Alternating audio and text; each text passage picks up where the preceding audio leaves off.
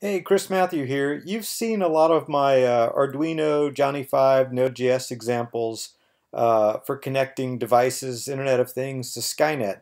Um, what's what's interesting uh, about those is that they're really powerful. You know, you can control all the pins, you can uh, attach sensors, and get streaming data into the Skynet uh, network uh, via a simple API, and react or control things accordingly. Um, but the cumbersome part of that is having uh, a Raspberry Pi or a computer or something with a bigger processor that can run Node.js uh, to control the Arduino. So I started thinking, what if you could just uh, build a, a, a, Skynet appliance out of just a Raspberry Pi uh, without an Arduino? You know, just kind of experimenting around ideas. It sure to simplify the deployment. Um, the the uh, Raspberry Pi has a set of uh, GPIO pins uh, very similar to the Arduino. And there's a, a half dozen um, Node.js modules out there. Check out this one from fivdi. Hope I'm saying his name properly, but it's called On-Off. And it basically lets you do some, some pretty basic uh, Johnny 5 like uh, capabilities uh, on, on the, um, the Raspberry directly controlling the pins. So I created my little standard little uh, LED light uh, positive is attached to pin 4 uh, and the ground is on pin 5. Um, this is a self-contained Raspberry Pi. In other words, this thing, uh, I, have got a blog on, on exactly how to follow my steps to do this, but it basically will uh, boot. We should see, let me go ahead and plug this in because it takes, takes about a minute to, to boot up. Um, okay, so we've got power here. This thing's going to go ahead and boot up. We should start seeing some uh, Wi-Fi uh, connectivity um, indicators, a blue flashing light. Then ultimately, when it's connected to Skynet, we'll see this LED strobe once, like a, a half a, a, half a second uh, strobe, just to let us know it's ready.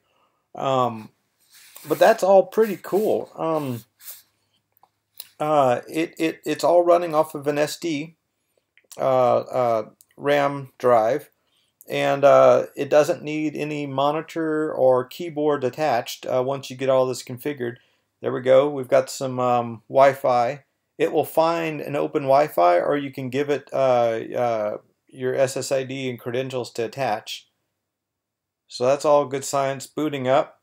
Once it's booted, it will uh, log in uh, to the um, the user account on here, which is called Pi. We could, oh, do you see that? So now it's all connected to Skynet. Uh, so about a minute to boot up. And now it's listening to Skynet uh, for, for uh, data. So remember this, um, this little uh, skynetphone.herokuapp.com.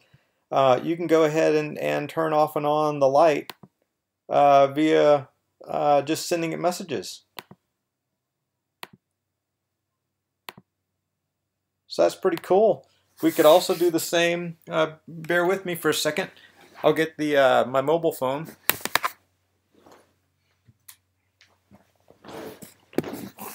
Here we go. We could also, uh, let's see, log in with my mobile app and